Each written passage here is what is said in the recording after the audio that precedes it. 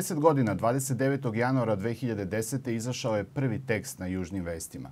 Jedan od osnivača Južnih vesti bio je Peđa Blagojević, dugo godina sinonim za ovaj portal.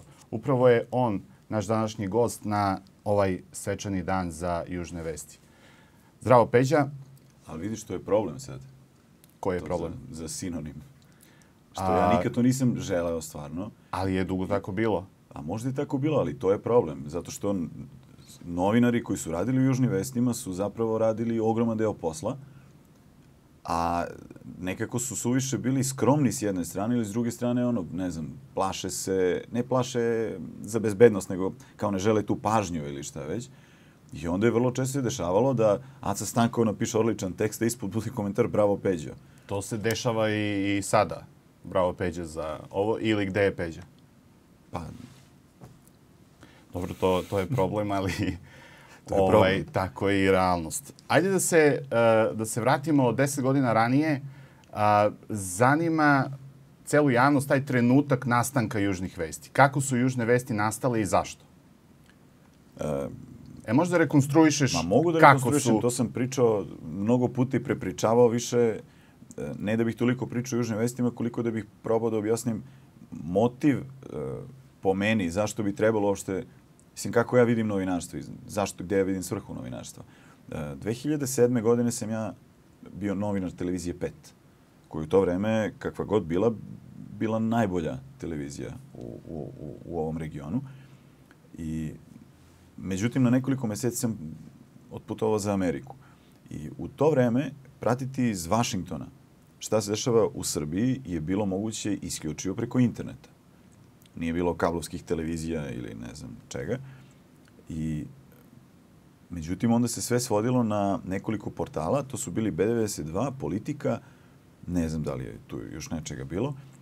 I drugim rečima, mi smo imali samo vesti od nacionalnog značaja, a nema lokalnih vesti. I onda ako bih hteo da vidim šta se dešava u mom Nišu, ja bih morao da pitam drugare, nisam mogao da nađem te vesti. Mogao sam da vidim, ali samo one ružne vesti kad, kad je, ne znam, pucnjava u centru Niša, autobus sa decom sleteo s puta i tako dalje.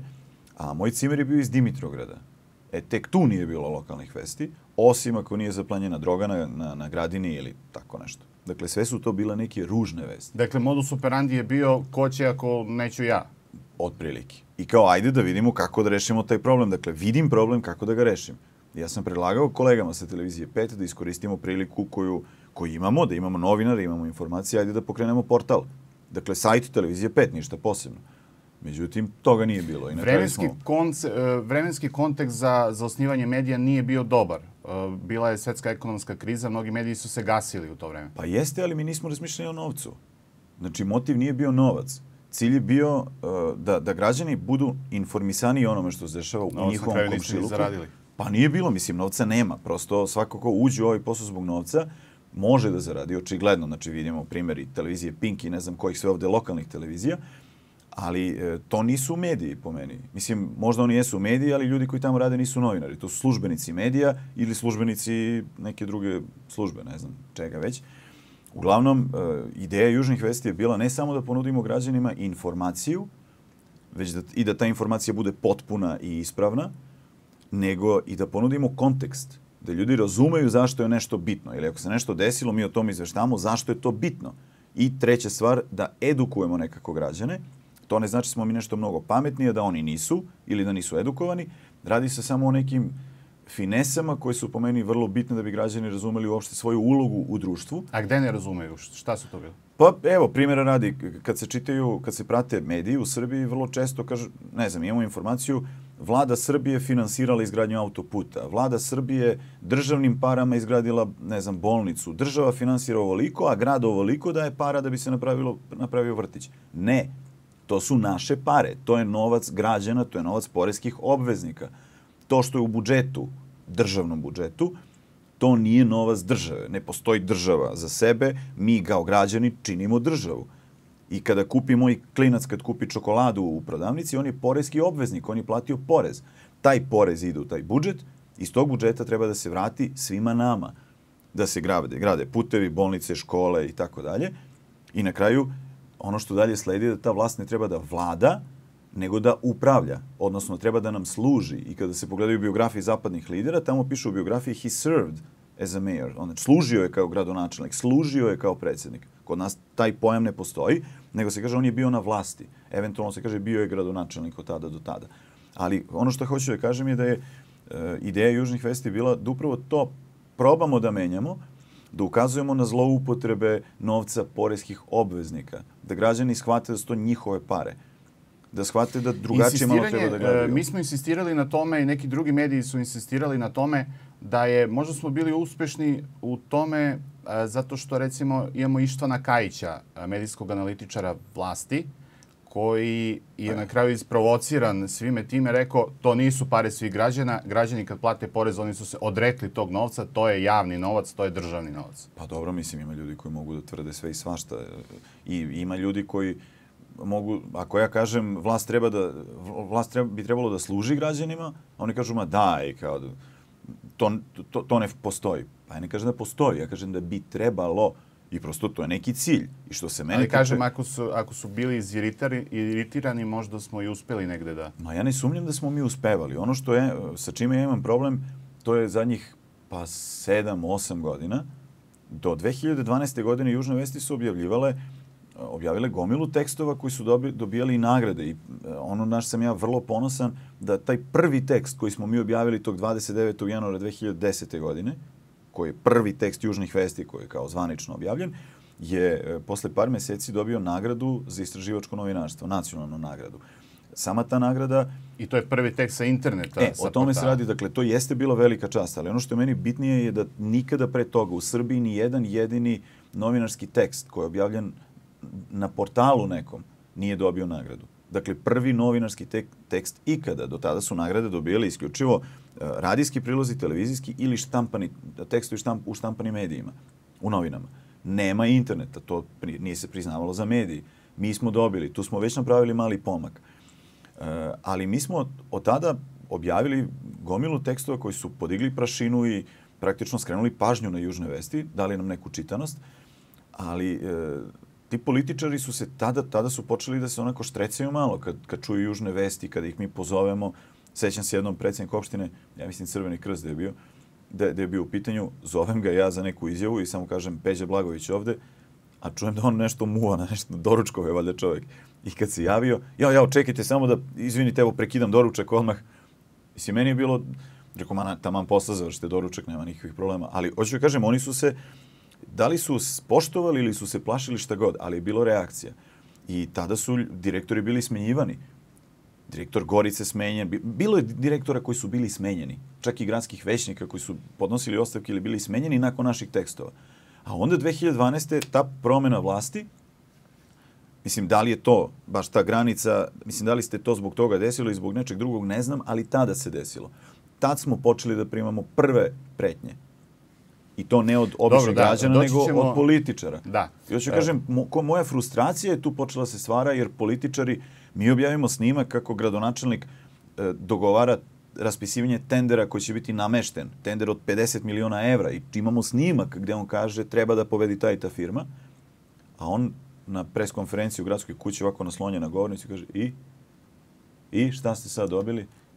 Mislim, i to pokazuje, da kažem, bahatost vlasti, gde oni pokazuju da njih baš briga i to je ono što mene iskreno malo bolelo zadnjih tih 7-8 godina, kada mi se upinjemo, ukazujemo na probleme i to građani vide, a s druge strane političari kažu pa šta je briga. I na kraju ti političari ostaju na vlasti čak i napreduju.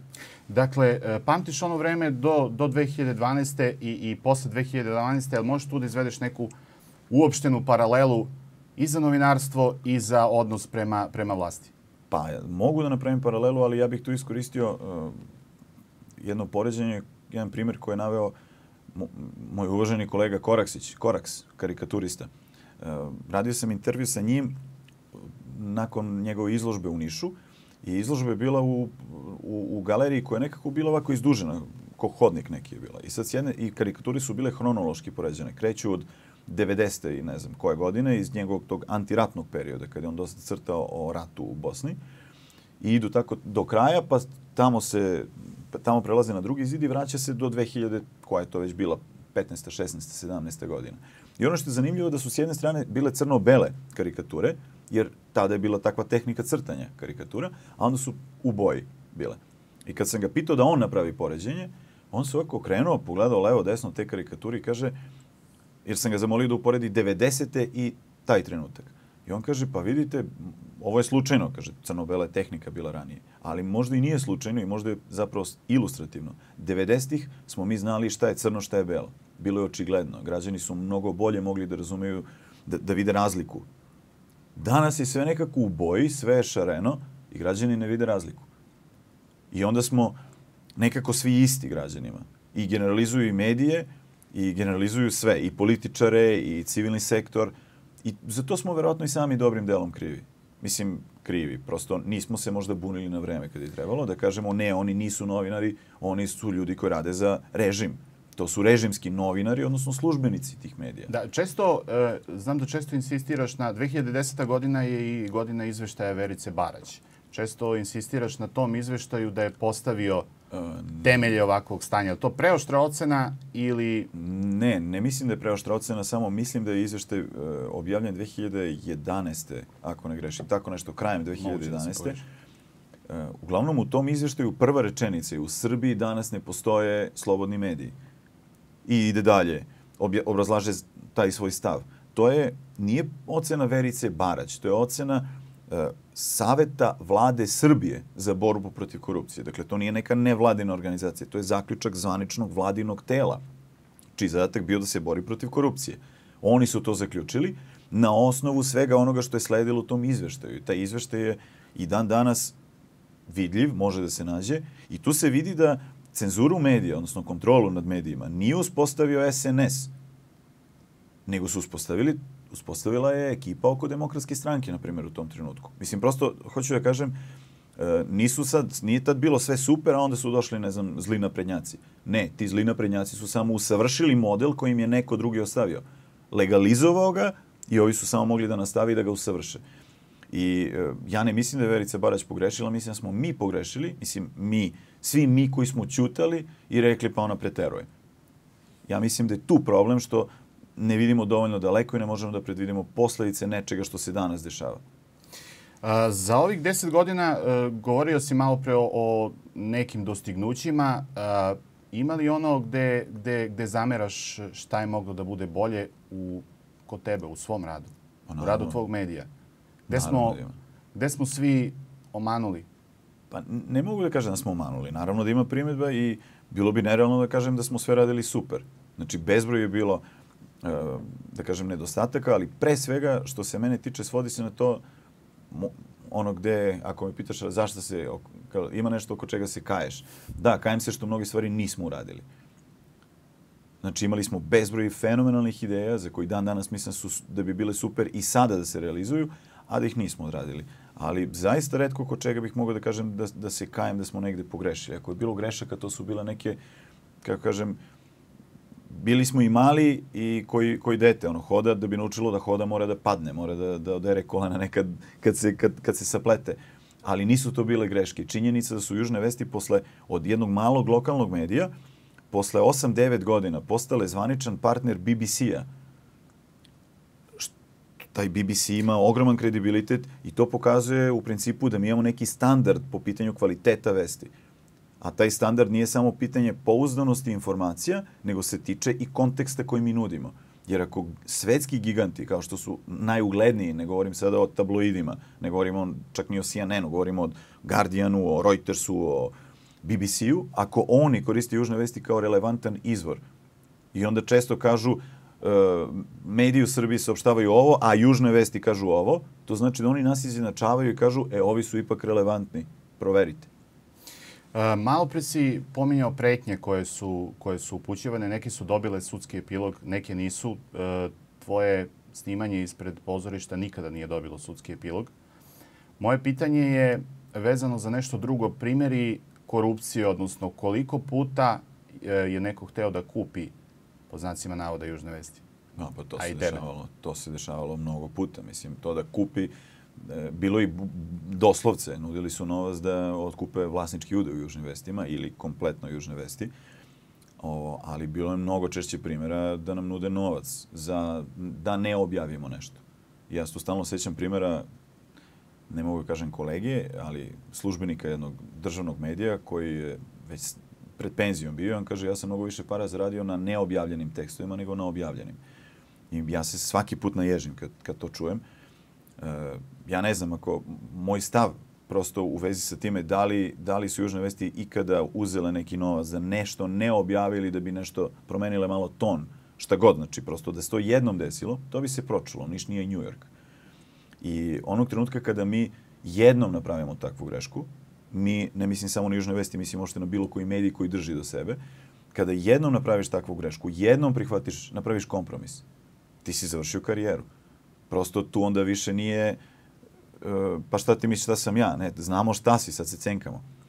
Znači, prosto to ni jedan medij koji drži do sebe ne sme sebi da, da dozvoli i koliko ja znam, to se nikada nije desilo u Južnim vestima. I bila je, ako mogu da napravim paralelu sa time, e, kad nam se građani javljaju i dostave nam neku informaciju i kažu, ali molim vas, nemojte da, da kažete da sam vam ovo ja dao.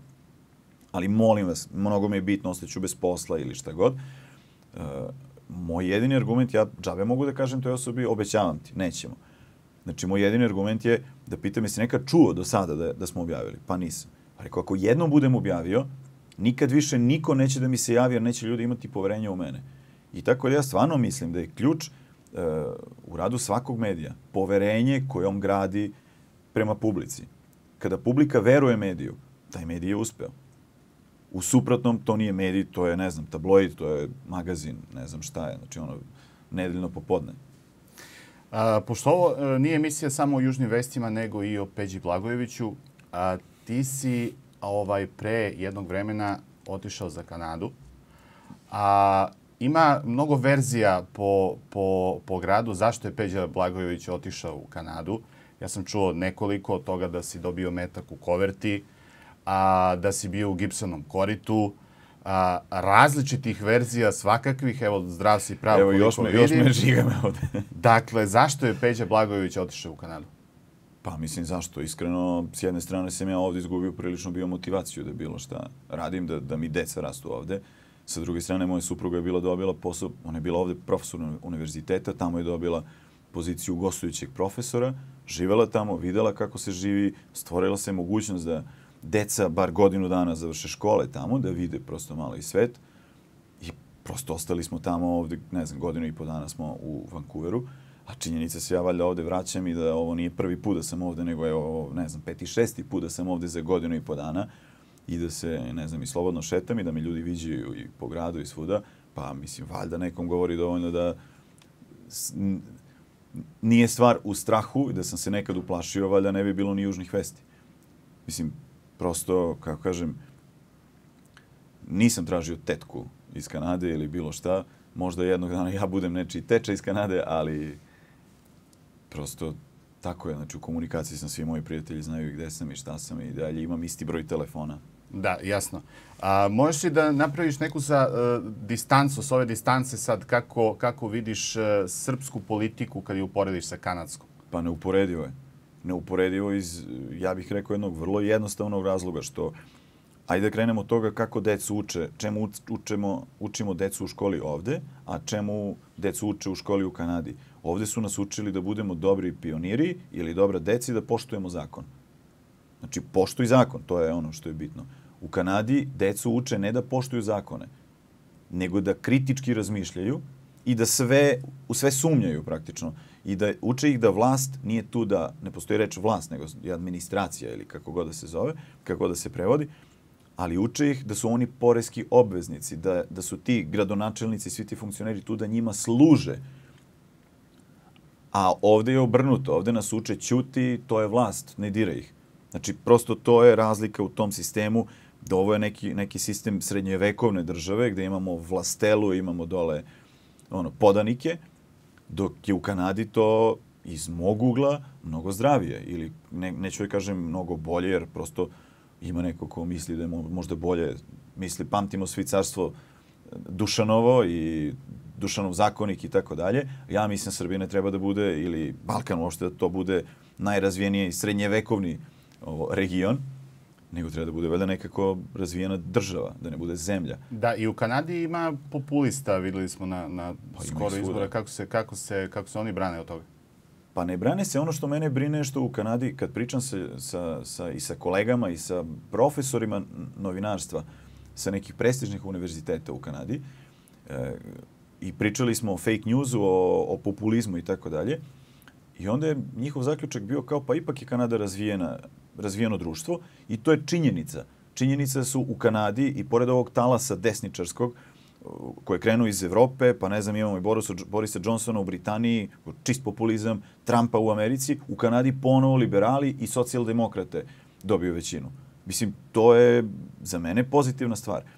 Ali ono što, je, što me brine je što smo imali slučaj eh, jednog visokog zvaničnika jedne od kanadskih, Kanada je federalna država, ima svoje provincije, zapravo autonomne te regije, koji imaju svoje premijere. I premijer jedne od njih, najrazvijenije, je, pitali su ga novinari za nešto što je kontroverzno pitanje. A on je odgovorio, umesto da, da odgovori, on je krenuo reakcijom, ko vas plaća, za koju obaveštajnu službu radite vi? Kako vas nije sramota? Vi radite protiv Kanade. I Zanimljivo. tu su se svi začudili. I kad sam komentarisao taj slučaj sa kolegama, pa kažem, nemojte se čudite. A da, šta je bitno? Što su to novinari preneli bez nekog, bez davanja konteksta, nego su rekli, pogledajte kako je odgovorio Nisu bili novinaru. iskusni u tome. Pa nisu bili, ali oni su mislili da je to strašno. I emitovali su integralno. Dakle, kako je on, kako mu novinar postavlja pitanje, on odgovara. Očekivali su reakciju publike da kaže, pa ovo je strašno. I bilo je ljudi koji su rekli ovo je strašno, ali je bilo i oni koji su rekli, pa stvarno, ko, zašto oni Znači, rade mi smo protiv napredniji od interesa Kanade Kanade? po tom pitanju. Ma Srbija je vrlo napredna zemlja, to je valjda jasno. Ono što hoću da kažem da tim ljudima, koliko god je napredno društvo, ali stvarno napredno, ne mislim ovo naše, ovo napredno, e, ti ljudi uzimaju svoje neke slobode koje imaju. Da li to sloboda govora, sloboda medija, čega god. Oni to uzimaju kao zagarantovano pravo, a nije. I kao što smo se mi oslobodili 45. od nacista, e, a imamo sada nove fašiste na vlasti, Dobro, Ne možda znači je da pretarana ih- ocena da uporediti sa nacistima Okupatori. iz 45. 45. Pa dobro, ovi su streljali ljude, a ovi rade nešto drugo. Znači, ovi na drugi način ali se su bore. dobili izbore. Pa dobro, dobili su izbore, mislim. Ima još diktatora koji su dobili izbore na kraju, ne znam da li sada navodim primere i po Evropi. Ali ono što hoću da kažem je da e, nije dovoljno slobodu osvojiti. Za slobodu se mora boriti i kada je osvojiš. A pomenuo si malo pre da si im objašnjavao ovaj kontekst zašto je zašto tako govore ti, ti političari u Kanadi. A, hoće li Peđa Blagojević orati kanadske medijske njive možda? Ne, ne, ne, ne, ne, ne. O, pa ne, imam problem, moj mozak je iskvaren u tom smislu što ja, ako ne, kad, sam, kad je ovde trebalo da ja napišem vest o nečem, nečem što je lepo, ja sam imao problem da napišem. Ja sam nekako, moj mozak se prebacio ovde, ja u svemu vidim loše stvari. Ja i dalje u Kanadi razmišljam kad, ljudi su strašno otvoreni, strašno su, ne, ne govorim o političarima, govorim o, inače o ljudima na ulici, o proda, prodavcima u prodavnicama, koji nekako kažu ono kao, ba dobro, daćete mi drugi put. Ali, i onda se zbuniš jer tog, toga ovde odavno nema. Ili kad ti neko na ulici ponudi pomoć, nešto vide da se mučiš, nešto ispada mi kesa iz ruke, priđe mi neko kao da vam pomognem. Odmah gledam, da li ovaj lopov sad, znaš, kao da, da li će da mi uzme kesu. Mislim, banalne su situacije, ali hoću da kažem, e, ja i dalje imam problem da se prilagodim tom mentalitetu i da razmišljam na taj način gde ljudi stvarno se trude da stvari poprave. I ako postoji neki problem, na to se ne gleda kao na problem, nego na kao, kao šansu, ajde da, da to popravimo. Bez obzira da li je reč o rupama na ulicama ili je reč o političkom sistemu, nekom izbornom sistemu, šta god. I onda imam problem, mislim i moj jezik nije dovoljno dobar da bih bio tamo novinar. Ono što, što, što, što ja radim i trenutno tamo je da sarađujem sa medijskim organizacijama i pokušavam upravo da prenesem to neko iskustvo odavde. Ipak sam više od 20 godina u medijima proveo i radio pod pritiskom. I kao što, mislim, imamo sad goblini, kažu u pesmi do, Mirno more nikad nije napravilo dobroga mornara. Prosto mislim da je da, da novinarima u Kanadi nedostaje ta dimenzija, vrlo često da, da vide šta su opasnosti, da vide kako je raditi pod pritiskom u jednom neprijateljskom okruženju, bukvalno prema Da. novinarima. I to je nešto što pokušavam da im pokažem kako da, da prenesem svoje iskustvo. Eto. Da onog trenutka kada se desi takva situacija, da oni znaju da je to opasnost i da se ne desi da oni kažu ma to je neki lud političar šta god. Ne, ako pustimo tog ludaka imat ćemo ovog ludaka. Dobro, po, poslednje, poslednje pitanje je u kakvu zemlju bi se vratio, odnosno u kakvu zemlju bi preporučio svojoj deci da se vrate u Srbiju? Ali zašto bi se vraćali u Srbiju? Mislim, kad izađeš, nas, eh, ajde, odakle da krenem, kad smo bili klinci, pa ja ovde u Nišu, uh, ulice su ranije imale brojeve, a ne, ne nazive, pa ne znam, ja sam živio u petoj ulici, pa smo ko klinci igramo futbal sa ekipom iz četvrte ulice, iz treće, pa smo se i tukli, pa kao ovi nam dirali drugare, idemo da branimo petu ulicu i to je neki kao lokal patriotizam bio, pa je onda bilo naselje, bulevar protiv Durlana, pa ne znam šta već, pa onda grad protiv grada, pa republika protiv republike, pa Ne, onda kad izađeš i kad se izvučeš malo, kad pogledaš sa strane, shvatiš da potpuno... Ja učim svoju decu da budu građani sveta. Da ne zaborave odakle su ili šta god, ali oni su građani sveta. I da ne žive tamo gde su navikli, nego tamo gde im je lepo. Glup čovjek živi gde je naviko, pametan gde mu je lepo. Eto, to je suština. Znači, prosto ne radi se o tome da smo pobegli od negde, da smo ostavili Srbiju. Ne, ja prosto mislim da na kraju kraja vidim zadatak i sebi i svoje dece možda da svet bude bolji kad bude svet bio bolji, pa bit će bolje i Srbija. Tako da, što se mene tiče, sasvim je svejedno gde će moje deca da rastu. Ono što bih samo volao da ja budem u prilici da budem možda pored njih. Da li to znači da živim u istoj zemlji ili da imam šansu ili da imam šansu da otputujem kad poželim. Jer u ovom trenutku gomila naših ljudi ovde iz Srbije, deca im žive po svetu, a oni ne mogu da ih vide. Viđaju unučići decu preko Skype-a i preko Vibera, jer nemaju para da odu da ih vide. Jasne. Nemaju para da izađu iz Srbije. E, zato prosto, što se mene tiče, meni, meni je cilj da moje deca žive tamo gde se osjećaju lepo, da budu građani sveta i da kao što ja mogu u Nišu, niko neće da ti pregovori zato što se iz jednog dela grada preselio u drugi jer ti imaš bolji stan, imaš neki park pored šta god, pa isto i ovo. Možda neću živeti više u Srbiji nego u Kanadi ili na Kubi ili u Rusiji ili gde god, gde mi je lepo živeću tamo. Hvala Peđa na, na ovom gostovanju. Hvala vama. Bila ovo emisija 15 minuta, nešto produžena u čast rođendana Južnih vesti. Moje ime je Milan Zirojević.